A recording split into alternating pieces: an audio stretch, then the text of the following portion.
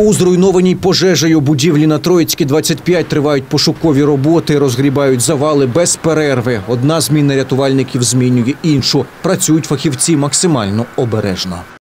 Всю ніч про- продовжувалися проводиться е, пошуково-рятувальні роботи та розбор конструкції, вивіз сміття. Понад 300 метрів кубічних вивезено мусору, сміття та е, розібраних конструкцій.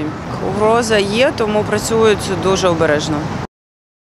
На місці пошуково-рятувальної операції наголошують, усім необхідним рятувальники забезпечені. Є навіть пункт обігріву. Одеситів попереджають максимально обережно ставитись до інформації в інтернеті. За деякими проханнями про допомогу можуть ховатися шахраї.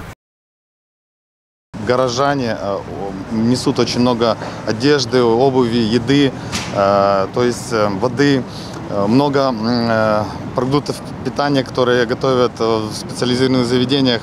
И этого, ну это, это правда, это, этого достаточно для того, чтобы тех ребят, которые здесь работают, да, э, накормить, обуть, переодеть и э, помочь им, соответственно, выполнять свою функцию.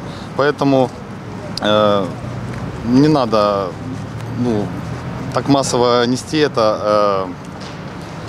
Уже просто переизбыток. И получается, что это все скапливается одежда, и просто потом ее надо будет куда-то реализовать. Быстро начали там по 500, по 100, кто гривен отправлять. Я говорю, куда вы отправили? Они начинают звонить, уже этого поста нету и звонить уже некуда.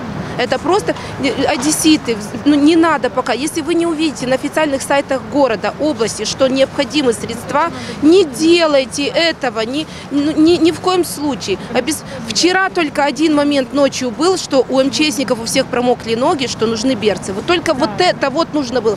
Больше ничего. И да, все есть. Все город обеспечивает полностью едой. Все коммунальные предприятия находятся здесь.